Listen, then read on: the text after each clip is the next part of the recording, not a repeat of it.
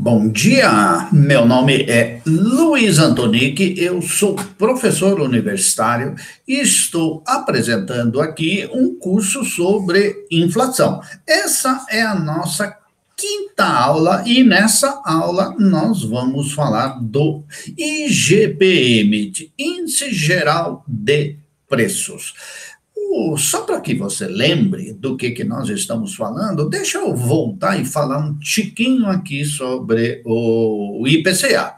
Então, o IPCA, ele mede consumo. Consumo do quê? Consumo de famílias que ganham entre 1 e 40 salários mínimos. Eu sempre faço uma crítica ao IPCA, porque ele é o índice de inflação brasileiro.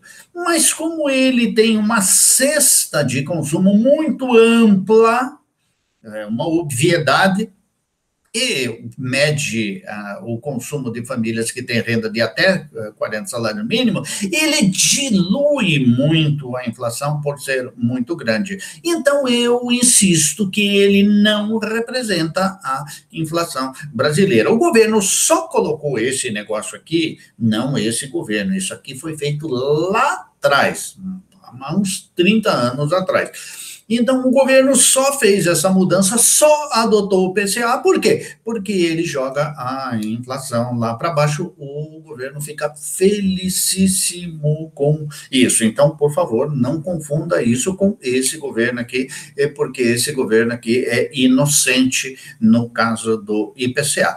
Veja, por exemplo, se você pegar um índice que mede a inflação de famílias que ganham 10 eh, salário mínimo. Olha aqui, ó, como ela é mais alta, ó.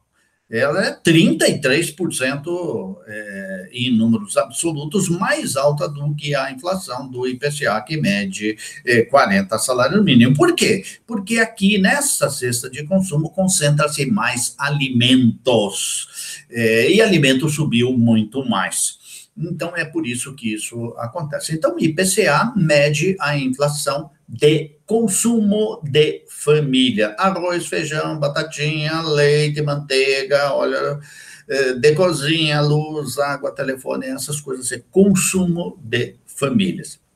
Então, nesse momento aqui que você já sabe tudo sobre o IPCA, fica muito fácil de falar sobre IGPM. Então, como eu disse, o, IG, o IPCA, ele mede o poder aquisitivo do consumo de famílias que ganham entre é, 1,40 uh, salário mínimo. Já o índice geral de preços é totalmente diferente, porque olha o nome dele, índice geral de preços. Ele mede muito muito mais do que consumo. Na verdade, ele mede três coisas. A primeira coisa, ele mede consumo de famílias também. É uma parte dele, é 30% dele vai ser composto por é, consumo de famílias. Ele mede com o índice de preços das materiais da construção civil. 10% vai ser composto por é, materiais da construção civil. E, por último, em terceiro lugar, ele mede preços no atacado.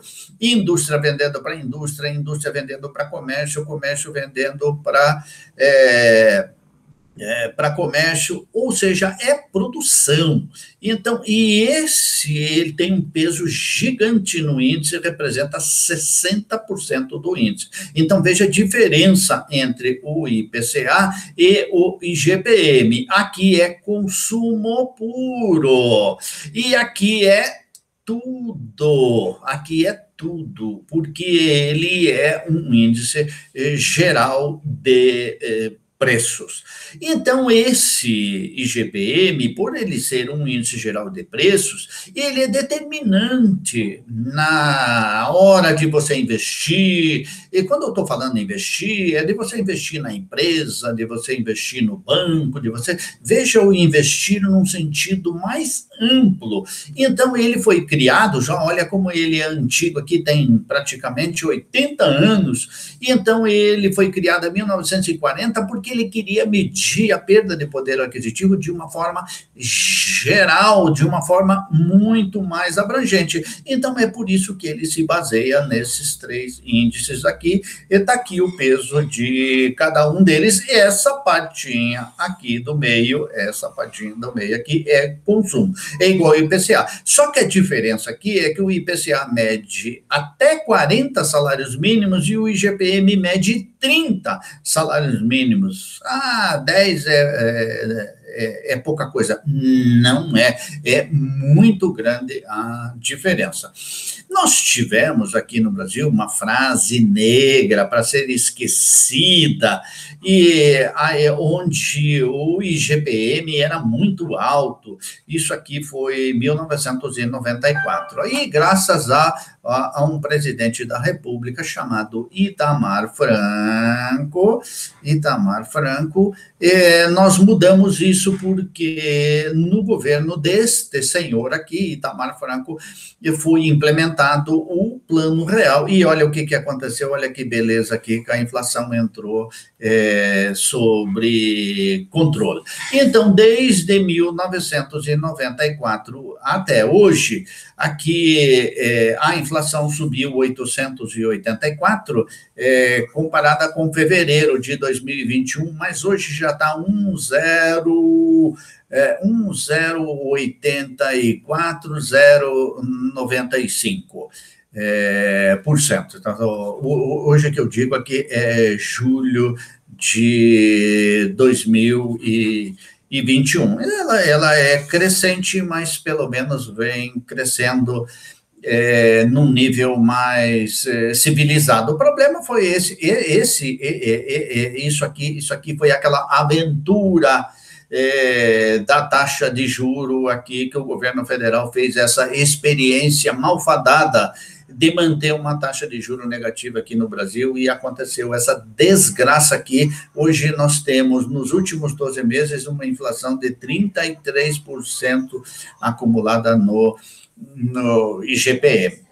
Então, você está vendo que o IGPM, mais do que qualquer coisa, é, como indicador macroeconômico, ele mostra para você o estado atual da economia e o estado atual da, da inflação. E ele é muito respeitado ah, as pessoas acreditam efetivamente no IGPM e, por conta disso, ele é um indexador, ele serve para é, aluguéis. Todo dia primeiro aqui os aluguéis são reajustados pelo IGPM, empréstimos bancários são feitos com o IGPM como indexador, coitado de quem emprestou, tarifas públicas, tem muitos contratos desses de energia elétrica de luz, de água, é, dessas coisas aqui que são anexados ao IGPM. Então, se às vezes você não consegue entender assim, nossa, mas e por que, que a luz subiu tanto?